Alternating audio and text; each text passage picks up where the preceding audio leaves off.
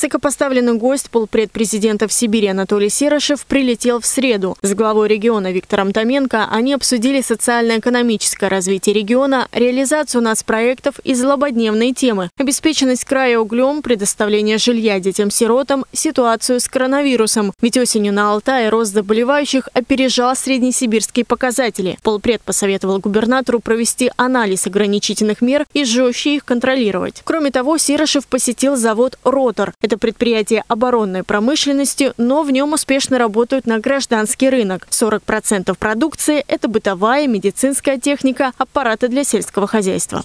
Совместные планы Виктор Томенко обсуждал с представителями общественной палаты. На этой неделе в правительстве состоялась традиционная декабрьская встреча главы региона и экспертов-консультантов. Это уже третья наша встреча, то есть это уже говорит о регулярности некой взаимоотношений и, соответственно, работы. И, конечно же, это э, влияет дополнительно и конструктивно на работу общественной палаты.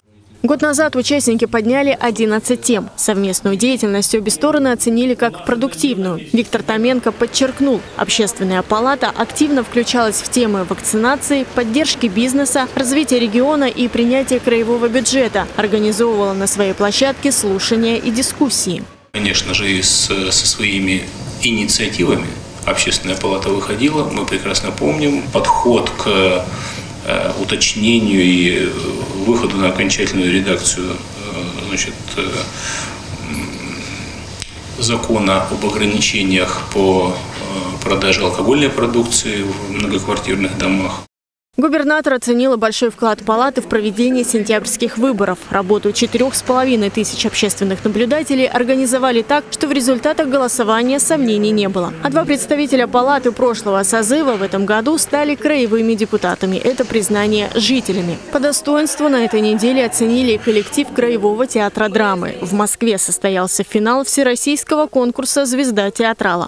Лучший региональный театр. Алтайский краевой театр драмы Символично, что такая большая победа пришла в год столетия учреждения. Во время его празднования губернатор Виктор Томенко говорил, что театр выдвинут на престижную премию. И вот финал. Глава региона поздравил коллектив и зрителей в своем инстаграм. Директор театра драмы Любовь Березина поблагодарила всех сразу после вручения. Когда вот мне вручали эту статуэтку, это, конечно, невероятное счастье. Счастье того, что мы поставили не точку в праздновании столетия, а поставили такой яркий восклицательный знак. Особенность этой премии в том, что победителей путем голосования определяют зрители. В номинации «Лучший региональный театр» у нас было два конкурента – из Ярославля и Севастополя. Но поддержка алтайских жителей перевесила, и Алтайский драматический в итоге лучший региональный театр. Анастасия Дороган, День с толком.